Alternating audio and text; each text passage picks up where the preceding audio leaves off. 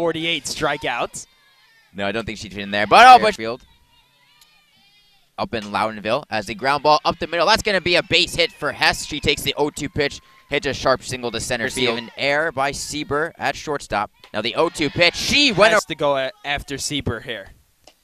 See- Above the strike zone. now the full count, and that's going to be strike Five with two outs this season.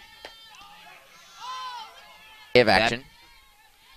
Now Vollmer takes the 0-1 to the left center field. That may find no man's land. It does. Drops right.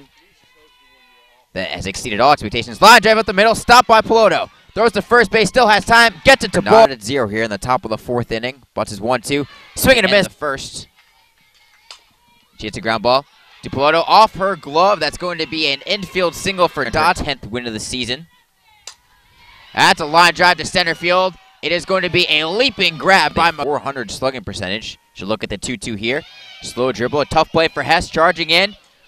Off balance throw. Thus far today, pop out to the shortstop, fly out to the right fielder. She has this one to right field. It's going to be past the outstretched arms of Volmer. It reaches the fence. McGuire around second base, heads over to third.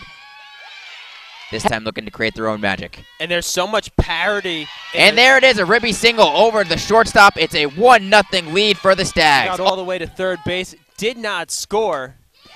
That's a line drive to the right center field gap for Kinhofer. One run crosses the plate. Make it two. Stopping at third base is Ball. Pitching a Six home runs. She'll take the 2-2 here. Swing and a miss at the high cheese. Grounds this one. Ortiz. Hurls.